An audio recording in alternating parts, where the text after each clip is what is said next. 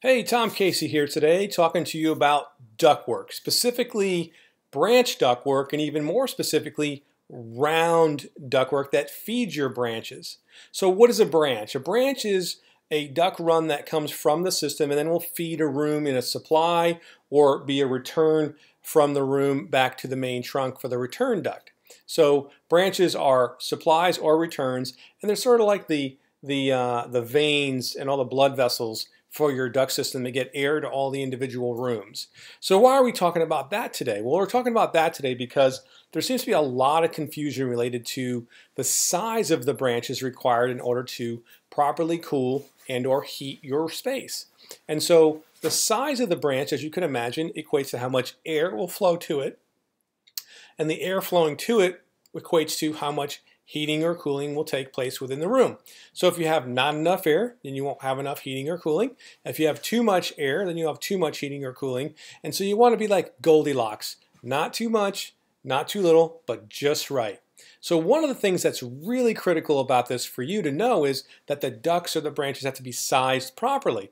And to do this, we use things called air duct calculators, sometimes referred to as ductulators, and they're slide rule type things like pictured here on the screen, or they're also computer programs and different types of charts and stuff.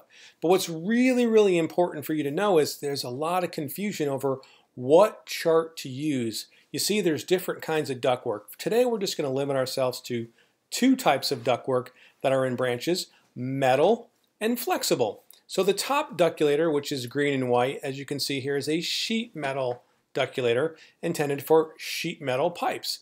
And the bottom ductulator is a flexible duct calculator intended for flexible ducts.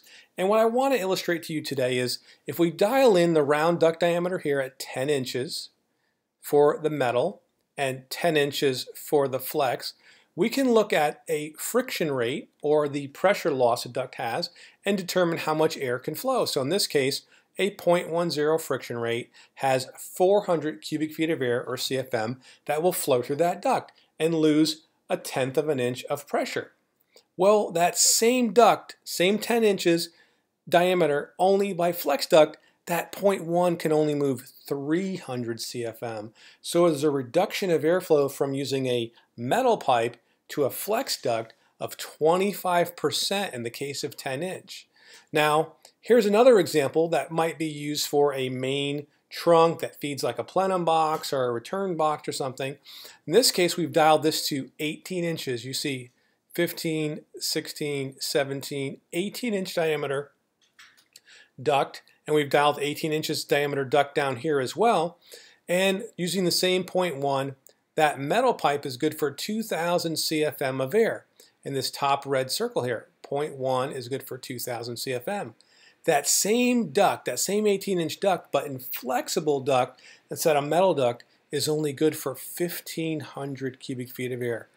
1,500 CFM, another 25% reduction in flow. Major difference. Last, let's take a look at a 7 inch metal duct. 7 inch metal duct, same 0.1, approximately 150, 155 CFM. That 7 inch duct in 0.1, more like 115 to 120. Again, that 20-25% reduction.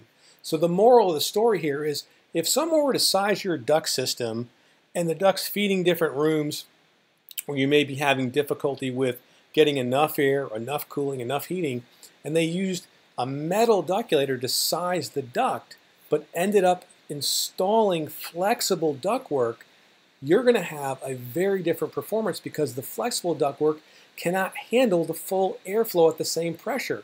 It's going to be reduced 20 or 25% minimum, which means if you're supposed to get a certain amount of air in the room to cool and you get 25% less, that's going to be 25% less cooling for that room.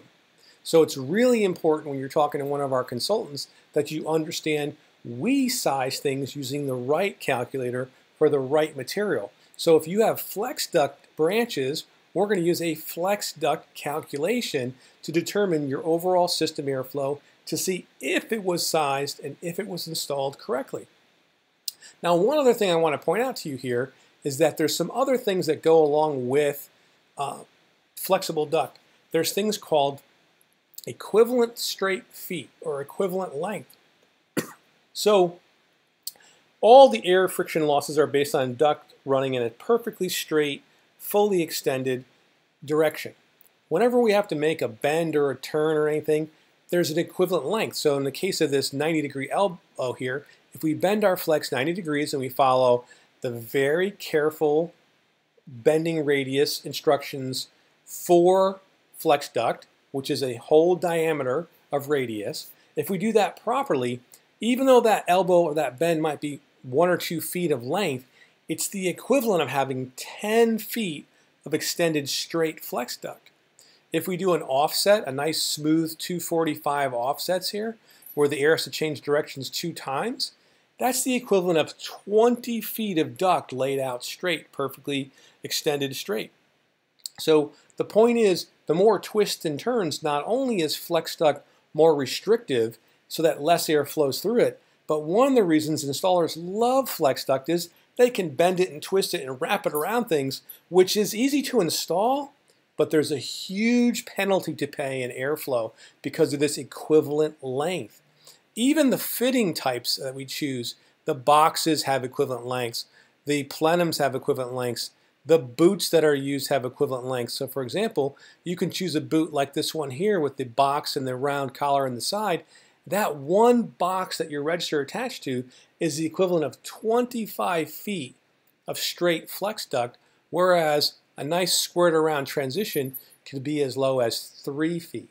So you could imagine as you stack up all these different things between possibly using the wrong ductulator material, between not installing it, between not accounting for all these turns and radiuses and their equivalent length, it doesn't take much before your existing flex duct system no longer can deliver the comfort you're looking for and creates all sorts of problems for your system. And that's what we're here to correct. Boom.